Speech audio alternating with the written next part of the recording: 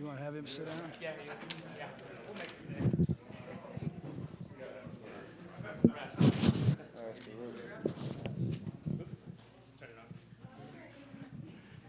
We good? We good? And ready. Thank you. Attention in the media room. We have a special guest with us this afternoon. Four-time NBA champion, two-time NBA Most Valuable Player, MVP of the 2022 NBA Finals, nine-time All-NBA selection, a golfer with a zero handicap, an activist, entrepreneur, humanitarian, a man who definitely walks the walk and talks the talk. Ladies and gentlemen, one of the funny, one of the favorite guys we have here in the tournament, Mr. Stephen Curry. Steph, welcome. Thank you very much. That was an. We get that on. uh, Did we get that recorded? I need that. Uh, It's it is recorded. that yeah, is you got amazing introduction. Thank you. Well, thank you. Hey, let's. I'm gonna. we've got a lot of folks that want to ask some questions. I want to get the media folks up here to fire away um, first, and let's let's get rocking and rolling. But one question, Steph. You know, a lot of guys have been asking. Hey, they're they're thinking you've had a little bit more time to prepare your golf game this year. Uh, Mardy Fish and on media day said. Well, Steph's not playing with uh, Justin Timberlake because Justin can't make it, so he might be concentrating a little bit more. So tell us what you think about your chances for the American Century Championship. Um, yeah, I'm always excited to be here. I love the event so much. Um, it's become kind of a family tradition with now me, my dad, and my brother um, in the field. I got a, a teammate, Andre Iguodala, here, so we just a lot of familiarity with the surroundings and just the energy that all the fans who come out and support it bring. Um, I'm obviously very confident in my game every time I come out here. And just a matter of can you hit shots. And one thing i'm going to do is going to have fun you know first and foremost and enjoy you know the competitive environment out there i think the key for me obviously is just hopefully getting off to a good start so i keep myself in it um, and hopefully with the the unfortunate extra time that i had with the uh, the playoffs ending uh, a little sooner than i wanted to um, the golf game will benefit from it so we'll see how it goes Okay. Dan, you want to fire away? Yes, if I may. Hello, Steph. Um, yeah, Dan Hinksman. I do stories for the tournament here. Um, this this might be a little bit of a reach, but your good performances here, usually the following year, you've done really well in the NBA Finals. Is there anything in anything to that? Well, yeah, because that means that I probably, I think, I don't know if I'm following the pattern right, but last year we won a championship and I had probably three weeks uh, before I came here, which is a quick turnaround. A year prior, I had plenty of time to kind of, you know, knock the cobwebs off and, and play a little bit more before I came up here. So I like that cycle. Um, you know, don't don't win a championship in the in the league, play well here, then go back and win another championship out there. So, on the court, that's uh, hopefully I can manifest that uh, for the next what, 11 months. That'd be that'd be awesome. Um, and then another one that, uh, again, a little bit of a reach perhaps. When MJ was here, when he used to play here, he said that when he retired from basketball, he would eventually win this. And of course, he had other things kind of take his attention away. But do you sense maybe that that might be something? Is that is that a, I don't know, a legitimate thing? You think? Honestly, I feel like is the way I kind of approach it. and I feel like where my game is is I have the game to win it now. Just a matter of can you do it? I can say it all I want to. I finished fourth twice, I think. So it's in there. Um, it's just a matter of can I put it together for 54 holes and um, balance the fun and you know the focus that you need to have to to play you know all three rounds and play great. So my goal has always been to try to do it as an active you know NBA athlete. Um, I got a few more years left to do it, so we'll see how it goes. And this next question was from yesterday. Did we have the long drive yet, or is that today? Oh, I won by one yard. I beat Patty. I beat. I'm telling you, I beat Patty Mahomes by one yard. I don't know what's going to happen in the afternoon wave, but uh, I got him. I got him by a yard. Is that important for you to I win that? swung, I swung like it. Absolutely. Absolutely. Thank you. Yeah, a couple of quick notes. Dan, you brought up a pretty good point as far as an active player. Only one active player has ever won this tournament, and that was Mario Lemieux many years ago. So, and I know Joe Pavelski came close last year with uh, being in He was the in the playoff, right? Right, he Yeah. was in the playoff. One other note, real quick, before we get to the next questions, and I know we've got some folks that are uh, on the phone as far as a Zoom call. We're going to take questions here first, then we're going to get to the Zoom call, folks. So hang in there with us. All right, Chris, would you like to step up?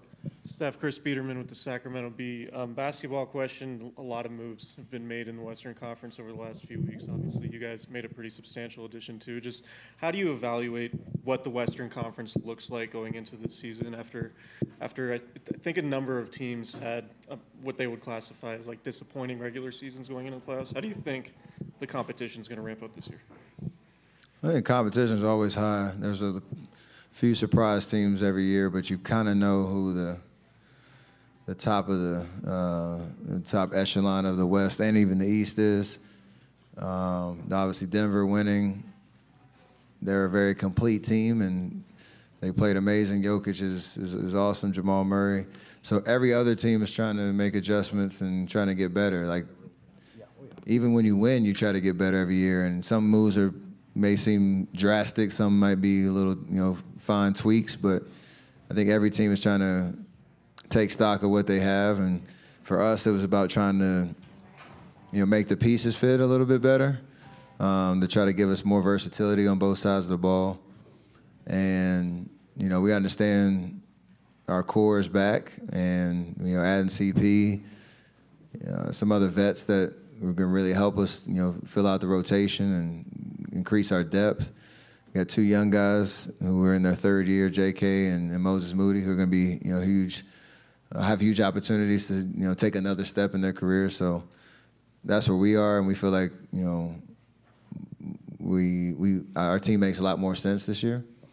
Um, it's just a matter of again going out and playing, letting the season kind of unfold, and understand what we need to do to, to beat the best, of the best in the West. So um, there's a lot of good teams, and we want to be one of them. What do you think about the midseason tournament and the idea of single elimination, knock, knockout type stuff in, in the NBA? Not something we've seen before.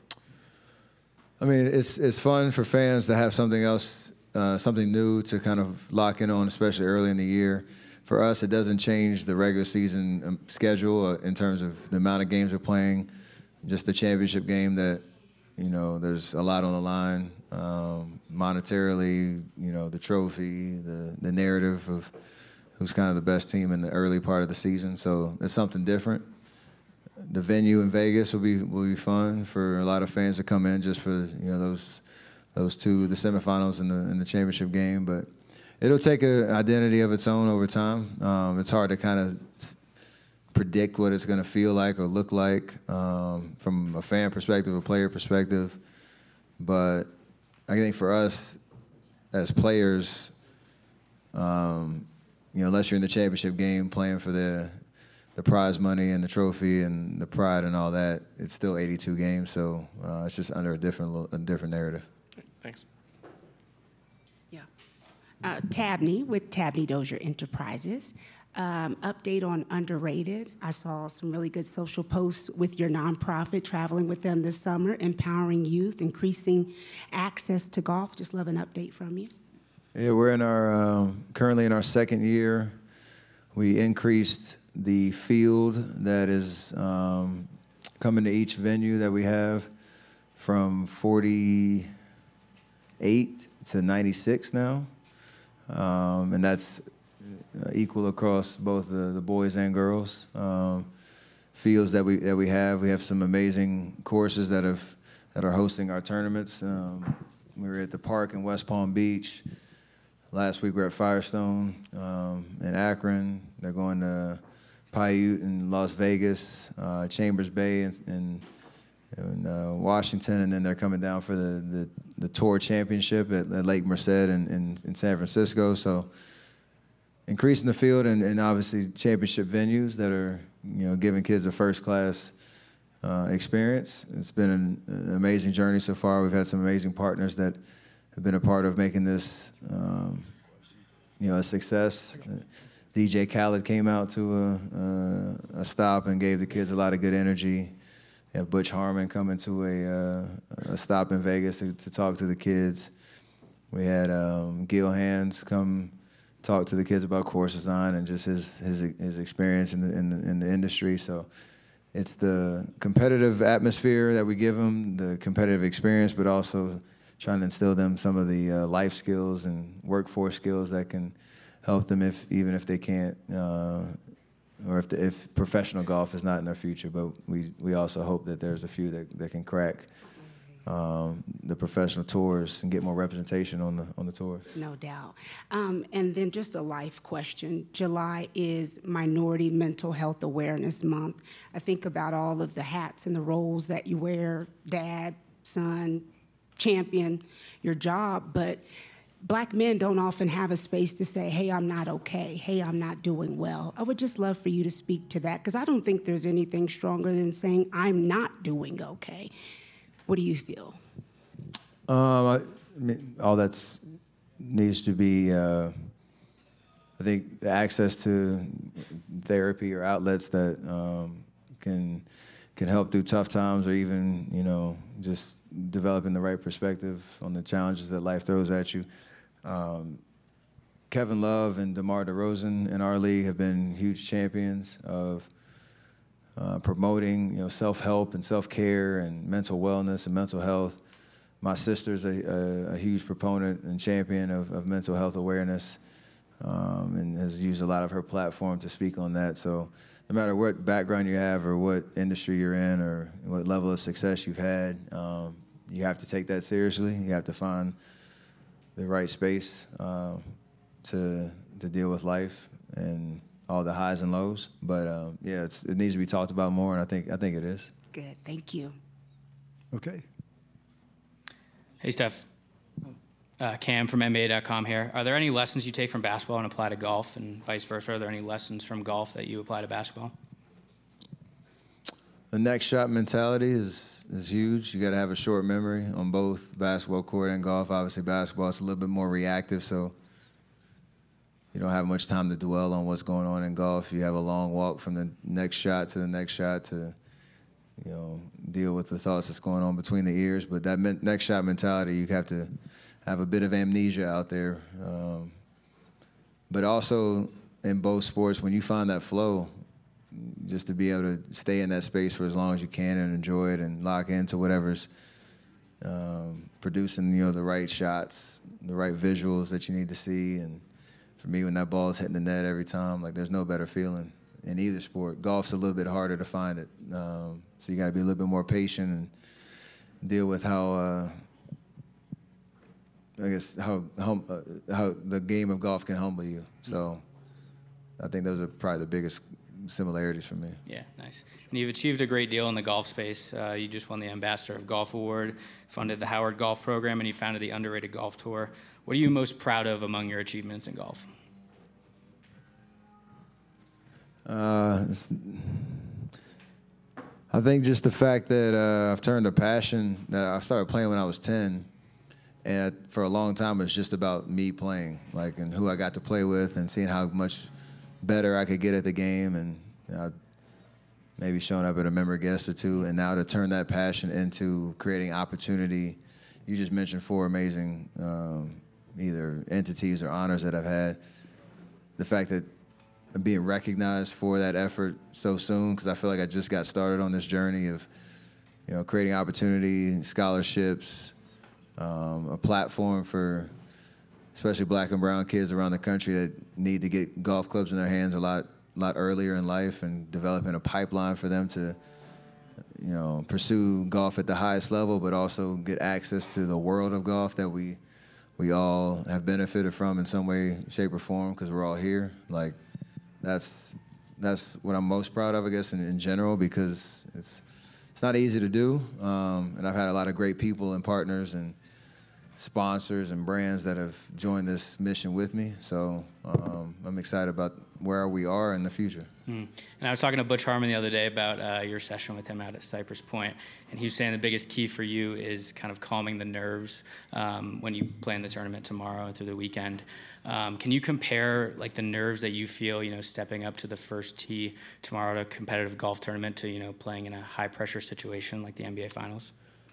I think I've said it before. I get way more nervous on the first tee uh, of any like event than basketball. I still get butterflies and all that on the court, but that's my happy place. And as much as I think I'm preparing for the American Century Championship, I, I'm, I still know I don't know uh, all the ins and outs of what it means to learn the game at the highest level. And I'm, I'm, it's a, it's a never never ending journey on that front. So it's no surprise that on the first tee and even the adrenaline rush that you get through the four and some change, four hours and some change that you're out there, um, I love it. And you, me and Klay played in the match against Kelce and Mahomes, and Klay, I talked to him after, and he's like, I hadn't felt that much adrenaline, you know, in a very long time. So it's something about this game, man. I don't know how to explain it, but um, it, uh, it brings it brings a lot a lot out of you. Yeah. Thanks, Steph. One more here. Hey, Steph, good to see you again, man. Mike Stephenson here with Nevada Sportsnet. A few really quick ones. First of all, that one you hit on 13 last year, 97 yards out, splashed it in. Would you say that is the greatest golf shot you've ever hit? And also, would you admit how many times you've watched that video? Uh, it's it's one one B to my only hole in one. So, but obviously one B just because it was in a tournament and it was out here, and I just love this place and the reaction I got from the crowd. Uh, I watched it probably 40 times that day, and I've probably watched it that many times since. So, yeah, they the people that all my guys, my dad, brother, everybody who's staying at the condo with us. Uh, they're probably sick of hearing the highlight, uh, the the volume and the commentary, just because how many times I watched it. But again, it's an out of body experience on that one. That's a great clip to have in your arsenal. Uh, if you could pluck a power from any of your fellow competitors, who would you want to steal an attribute from? I've asked a lot of people this. A lot have said your jump Mardy shot. Fish is are on golf? I'm saying actually Oh, in, in in respective professions, yeah. So would you want, you know, Alfonso Ribeiro's dance moves or something like that? Oh, if, well, I want to answer it in golf terms. I want Mardy Fish's tempo, just because I just love watching him swing. Oh, he's right there. Look at that. That was not planned at all. That was not planned at all. It's the sweetest tempo I've ever seen, big fella. Um,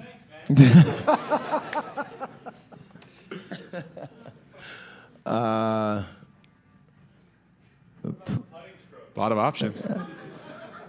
Only what Saturday of 2021? 2020. 2020. Sorry, yeah, that's 63. Only for four hours. uh, probably. I don't know. Uh, we're close in, in that respect, but I still just love watching him play. Mahomes' just creativity. Just the way he sees the game. I feel like everything's in slow motion. He probably say the same about me, but um, I, I love watching him play. If I was to be asked that question, I'd say I'll take your bank account, but that's all right. I, I don't get that Fair. option. So. That's fair. Last one. If it's not going to be you, who would you like to see get this thing done come Sunday afternoon?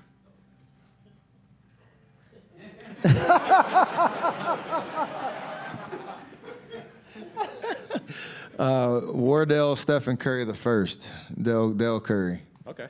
I'd like to see the the uh, we call him the originator. I'd like to see him get it done. Sorry, Mardy. If, if you don't mind, I did want to ask you one quick more because we had your pops for media day via Zoom. He did mention the car ride you guys take over, and that's when the bet is determined. Curious what the bet is, but I also I did ask him about both Caleb and Cody Martin, two guys that we covered down in Reno for the University of Nevada, Carolina guys. Of course, pops was with them in Charlotte. Caleb just played in the finals. If you cross paths with those guys, what do you think about their respective games? If you know uh, much about them. I've played against both of them. They're um, they're amazing athletes. They have a toughness and a grit to them. Obviously, you know, the ability to make it in this league, especially at the wing position, is extremely difficult, and you have to kind of have that toughness and, and know-how, and and uh, yeah, I'm sure they've come a long way from when y'all covered them back in college. So, uh, what was the first question? I forgot. Well, I guess do you have the bet in the, in place at this point? Oh yeah, we're still working on massaging out the, the handicaps in the sense I, I, I spot both of them points.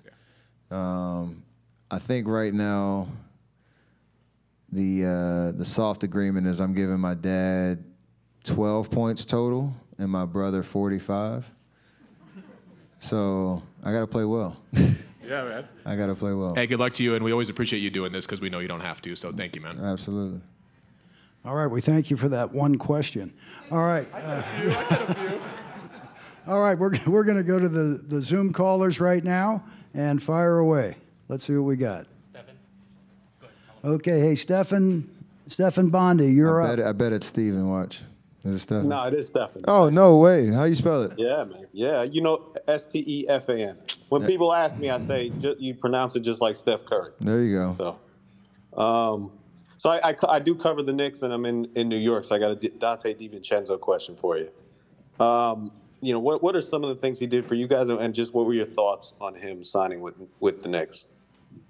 Super happy, super proud of him. We had a good conversation last off season when he was trying to figure out what he wanted to do. Um, I know he was coming off of injury and trying to find a situation that could help him establish, you know, who he is as a as an NBA player and how much value he brings to winning teams. And he he proved that above and beyond with us all year. He knows how to play the game. You can tell he he won at the highest level in college, and the Knicks got a good one. And I'm happy that he. Uh, he got his fair share of that CBA too. So uh, it was good. All right, thanks, man. Appreciate it.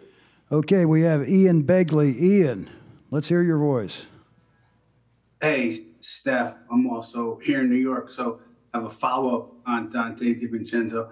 Um, I bet you didn't think you had two Donte questions coming today, but how did he impact you guys, and what's your impression of him after spending a season with him?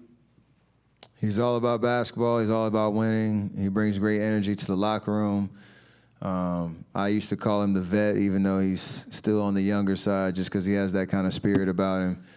And uh, he plays way beyond his years. Um, he's good on both sides of the ball.